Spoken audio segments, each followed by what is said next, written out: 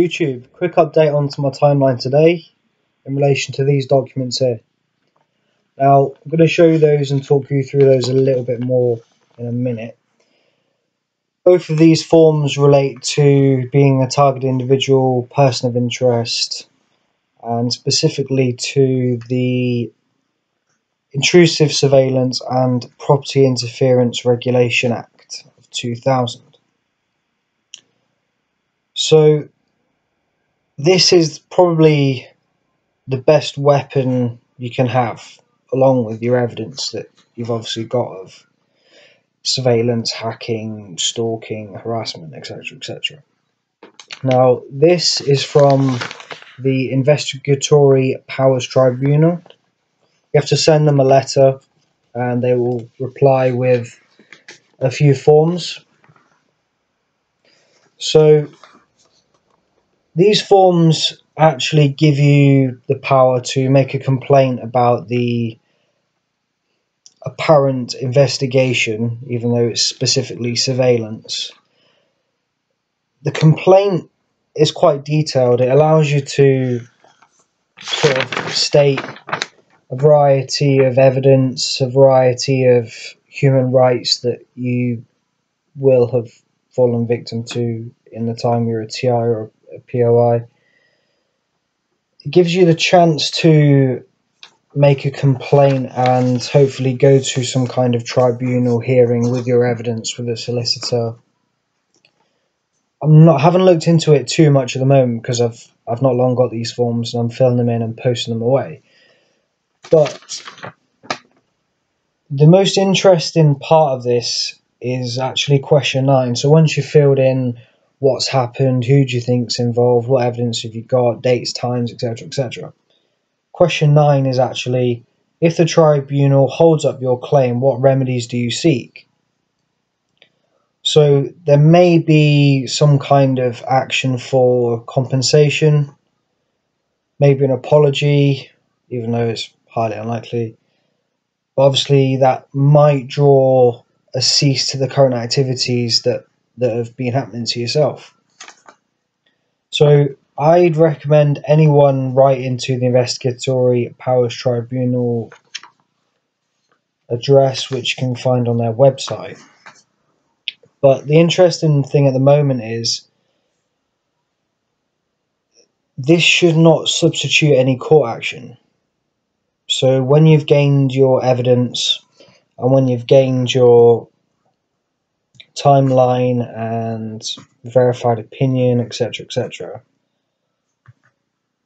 Keep this as as a backup. Obviously, write to them. Try and get try and get a hearing at first, but then what I'm going to do is look into the actual results that they can provide and what what future recommendations they can make. If that's not to your liking, there's nothing to stop you going to court. So I'm going to I'm going to come away from these forms a minute and I'm going to talk to you a little bit about the website I want to create. Now, for the just under 10,000 views, 10,000 people, 10,000 views that have watched my account over the past two years now, maybe a little bit more, I'm going to be making a website which will have all the information you will need from start to finish on how to be the most successful TI person of interest that you can be, how not to fall for the for the tricks and sort of states of mind that they may or may not be able to put you in. So yeah, I would like to open this opportunity up to anyone who's watched my account who could possibly provide some kind of website content. It would be much appreciated, and I want to make this a community for people who are put under surveillance. I'm going to offer services, provide equipment, you know, not not not for my own benefit. This is sort of a, as I say, a community kind of action to stop these kind of intrusive acts, hacking your laptop, you know, keylogging every word that you say in on your emails, messing with your properties, electrics, and, and so on and so forth. So, yeah, the website will be published on my website perhaps in the next couple of days if it's something that I could perhaps get a rough a rough website built in in two or three hours. It's going to have links to legal advice. It's going to have links to surveillance process, equipment, psychology of the actual gang stalking program, the different stages that we will go through, such as the sound tactics, etc., etc. So yeah, that's covered pretty much everything I wanted to talk about today. This will be a very interesting response. Purely based on the evidence I've got, I know that I can walk into court and successfully prosecute intelligence intelligence authorities, whether that's the police, NCA, etc., etc., for intrusive surveillance and property interference. Gang stalking is the hardest to prove. Remember that gang stalking is hardest to prove because at the end of the day, you're just videoing people in public without them making specific gestures or without having to actually trace individuals, maybe surveillance individuals. You're not going to more than likely you're not going to be able to prove gang stalking in itself. So, hopefully, with my help, you'll be able to evidence all the surveillance that happens to yourself.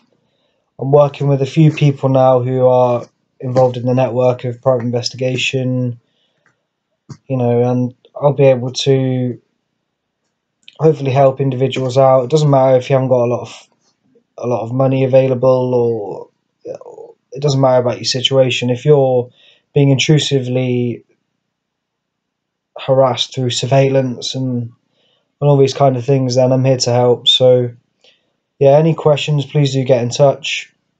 I'll keep you updated. I'll be posting my website on youtube hopefully in the next two three four days depends on how how quick I get the content together and actually find a, a website tool that allows me to make the best website possible. So, yeah, all right, that's everything for today, YouTube. Please keep the comments in. Welcome to my new subscribers. And yeah, please do get in touch.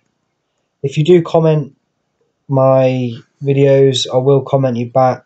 I'm going to put my email address and my phone number up again if you want to discuss that further. If you need any immediate help or validation of any evidence that you've got, then I will probably be your cheapest and, and most professional, honest person to contact. So, all right, over and out for today. Thanks, YouTube.